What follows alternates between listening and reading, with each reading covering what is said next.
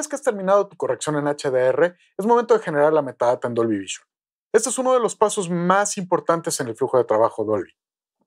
En este video vamos a mostrarte la forma de analizar el material en HDR y realizar un paso opcional en tu corrección HDR generando metadata L2 o L8, utilizando los algoritmos de análisis de Dolby.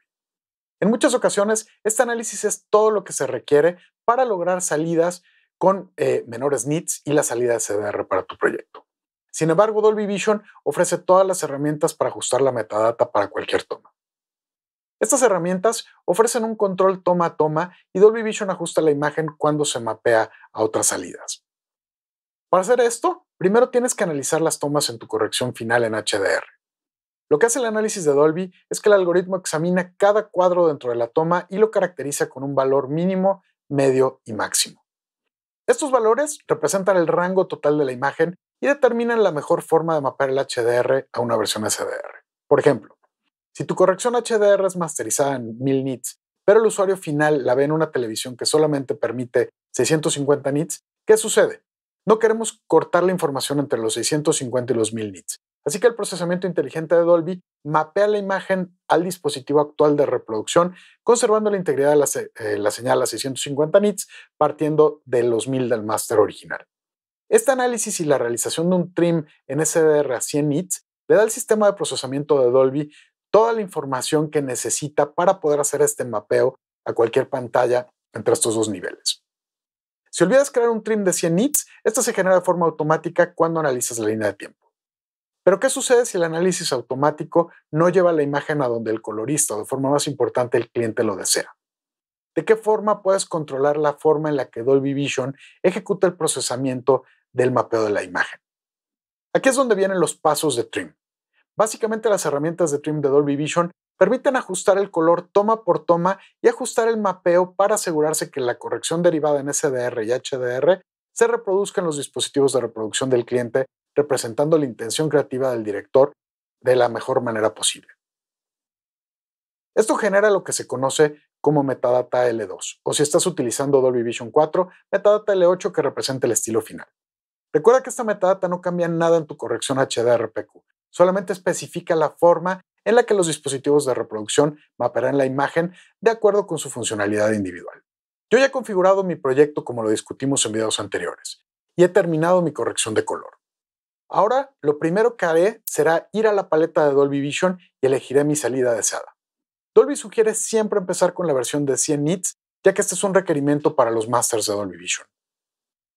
Lo que tenemos que hacer es en la pestaña de Dolby seleccionar la opción de Target Display Output, revisar que estemos en 100 nits, BT709, BT1886 Full y posteriormente seleccionamos la opción de Analyze All si queremos analizar todos los clips o Selected si queremos analizar solamente un clip. Tenemos dos opciones más, sin embargo, All y Selected son las que más utilizamos en este proceso. Una vez que el análisis está completo, al seleccionar la opción de Tone Mapping Preview, la versión en SDR se muestra correctamente en el monitor. Ahora, podemos revisar nuestra imagen e ir haciendo los ajustes que consideremos necesarios. El análisis automático ha hecho un muy buen trabajo, pero si queremos modificar algo, lo podemos hacer utilizando los controles de los streams, dentro de los que se encuentran los tradicionales Lift, Gamma y Gain. Algo muy importante que hay que mencionar es que de acuerdo a las mejores prácticas de Dolby, no se recomienda utilizar niveles de lift positivo para subir los niveles de negro de las tomas. Esto es porque algunos dispositivos de consumo aplicarán el lift a todas las áreas con recuadros, haciendo que los negros se vean grises en letterbox, por lo que es mejor utilizar gamma y gain para agregar brillo si es que la toma lo necesita.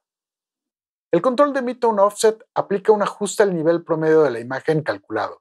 Esto te permite ajustar el nivel general de brillo de la toma de forma rápida sin clipear las luces altas o emplastar las sombras.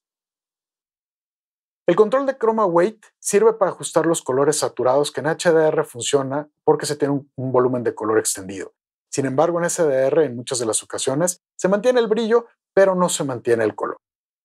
Para Dolby Vision 4 tenemos varios controles adicionales como Mid Contrast Bias, que básicamente ayuda a controlar el contraste de la imagen, lo que permite agregar o quitar contraste sin cambiar el punto negro y blanco de la imagen. El siguiente control es Tone Detail. Este funciona un poco como Sharpening, agregando contraste localizado a áreas de alto detalle. Esto puede ser sumamente útil ya que las correcciones en HDR se ven a la vista muy nítidas y esto es debido al alto contraste, pero este contraste no siempre pasa a la versión SDR. En Dolby Vision 4 también tenemos ajustes secundarios, que son muy útiles. Podemos pensar en estos ajustes secundarios como ajustes mucho más localizados. En la pestaña de ajustes secundarios tenemos dos opciones, controles para la saturación y el tono, permitiendo controlar específicamente un color primario o secundario como el rojo, amarillo, verde, cian, azul y magenta. Una vez que realizamos los trims en nuestra imagen, hemos terminado. Sin embargo, si queremos o necesitamos realizar un pase adicional, lo único que tenemos que hacer es elegir otro Target Display Output, por ejemplo, 600 nits, P3D65, 72084, y hacer el trim correspondiente y ajustar la forma en la que se realizará el mapeo. El CMU automáticamente interpolará entre los trims existentes y te dará una base sobre la cual puedes empezar. Al hacer un ajuste, este nuevo trim se guarda en la metadata del entregable final. Así que la realización de todos estos pasos y los pases de trims dependerá de la forma en la que tú lo quieras hacer. Algunos coloristas prefieren ver la versión en HDR y SDR de forma simultánea e ir haciendo todos los ajustes para que se vea lo más parecido posible. Otros hacen un pase dedicado. Tú puedes trabajar en la forma en la que tú lo deseas. En algunos casos puedes copiar la información del análisis y los streams de un clip a otro, por ejemplo, en múltiples secciones de una misma entrevista. En algunos casos, por, por, ejemplo, cuando hay escenas con cambios bruscos de iluminación, puedes analizar solamente un cuadro como base y pegar el resultado del análisis a todo el clip. Incluso en algunos sistemas como Nucoda puedes animar los controles de trim. Otra cosa importante es que si estás en medio del análisis de una gran cantidad de tomas y decides detener el análisis, la parte que ya se analizó se guarda y puedes retomarla en cualquier momento. Como puedes ver, las herramientas de Trim le ofrecen al colorista un control preciso sobre la forma en la que su corrección en HDR será mapeada a distintos tipos de pantalla, haciendo que el trim sea lo mejor posible y de esta forma nos aseguramos que sin importar la pantalla que use el espectador, la intención creativa se refleje de la forma más precisa. Una vez que hemos terminado nuestra corrección en HDR y todos nuestros streams, la siguiente parte es la generación de los entregables y en el siguiente video veremos las distintas formas de exportar tanto tus entregables en Dolby como los archivos de metadata.